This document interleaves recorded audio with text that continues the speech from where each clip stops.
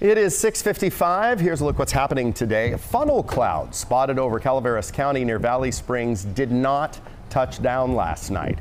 Here's video of that swirling around though. There were some reports of wind damage, however, in the area. The snow has moved out, but chain controls remain in effect on Sierra roadways after yesterday's big storm there. Several ski resorts have extended their seasons to take advantage of it. And the mountains will be the spot that'll see the bulk of the activity today with maybe just a few more flurries and or light bands of snow. For the valley, things are clearing out nicely. Expect highs today in the upper 60s.